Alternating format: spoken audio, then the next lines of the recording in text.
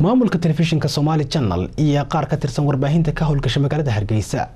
Waxay wax laga xumaado ku tilmaameen xadhigga dowladda puntland ay magaalada garowe u geysatay jaamac dabraani oo ka tirsan mas'uuliyiinta telefishinka somaali janal warkaasi uu maamulka ku cambaareynayay iyo wariyaasha hargeysaba waxay noo diyaariyey waryaheena cabdifataax xareed agaasimaha telefishinka caalamiga ee somaali janal axmed maxamed jaamac iyo qaar ka mid a warbaahinta magaalada hargeysa ayaa cambaariyay xadhigga loo geystay wariye jaamac dabraani oo ka howlgala telefishinka caalamiga ee somaali janal islamarkaasina lagu xidhay magaalada garoowe.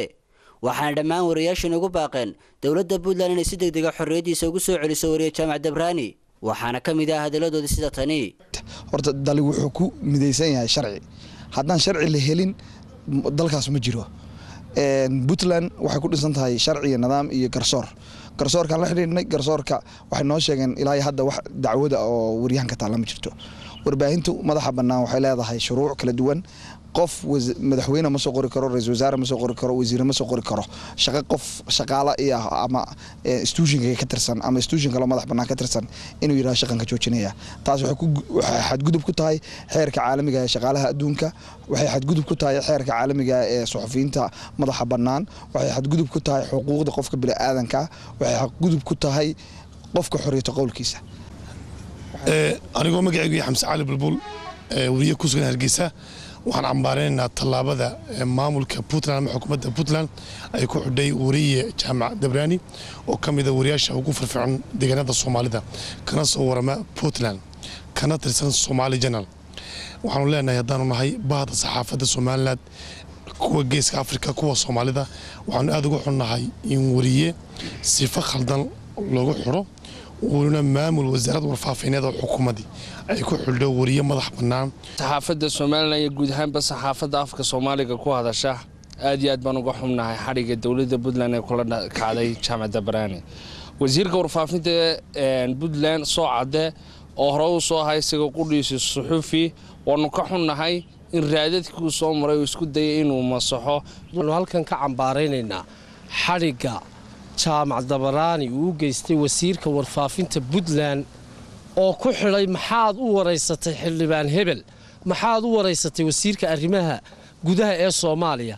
Arrimahaasi waa kuwo tilmaamaya aqoonta iyo xirfadda uu leeyahay wasiirkaasi warfaafintu. Waxaanu leenahay waar maaha wasaaradda warfaafinta ninkani shaqaalaheedee wuxuu u shaqeeyaa telefishan madaxa bannaan oo maxalliya. Bal ishubso oo inta aad xukunto iyo idaacadda aad xukunto iyo telefishanka aad xuntee puntland. Ma ahae bal waxa aqoontaadii bal dib ugu noqoo hubso inaad ninkan maamushay inaanad maamulin runtii waxa weeyaan waa arrin laga xumaado xadhig sharci darro dowladda lafteeda ay og tahay oo waxaynu ogeyn warbaahintan aad kala socoteen intiina daawanaysa iyo intiina halkan toogtaaba. In wasiirka arrimaha warfaafinta soo cadde waraysigii laga qaaday kadib uu yidhi maxaad sana igu waraysatay saasay noqonaysa runtii. Isla markaasna uu ciidamada amniga yidhi soo qabta ninkaasi jaamac dabraani. Ciidamadiina ay yidhahdeen qof aan waaran maxkamadeed loo soo jarin oo maxkamad aanay amarkaasi ka soo bixin. Ma xidhi karno. Markaas dowladda lafteedu way og arrintan ay ku xidhin sharci darro tahay. Sidii horeba u sheegeen? Marka waxaan leenahay dee waxa caqliga saliimka iyo qof kasta oo wax garanaya uu og in sharci darro ay tahay. Xadhigga jaamac dabaraani runtii wuuna taabtay dabaraani waa saxaafadda xilliga muraayadda waa shakhsiyaadka haldoorka waa shakhsiyaadka firfircoon shakhsiyaadka mihinada ehelka u ah. Waxaan leeyahay wasiirka xidhay iyo maamulka dowladda puntland. Puntland runtii waa deegaan nabdoon waa deegaan kala dambayna ka jirto. Waxaan ugu baaqayaa madaxweynaha maamul goboleedka soomaaliyeed ee puntland jaamac dabaraani xorriyaddiisa ha loo soo celiyo. Waxaan maamul goboleedka puntland iyo madaxweyne cabdiweli maxamed cali gaas ugu baaqaynaa inuu xorriyaddiisa u soo celiyo suxufi jaamac dabraani oo ka howlgala tv-ga somaali janal intaasaan dalbanna haddaan warbaahinta ka howlgasha somalilan waa tallaabo muuqataa inay sifa sharci darraa tahay.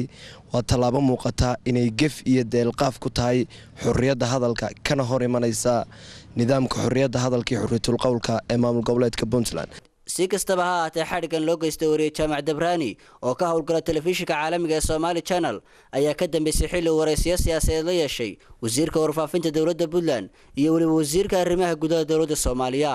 Cabdifitaax xareed telefishinka caalamiga ee somaali janal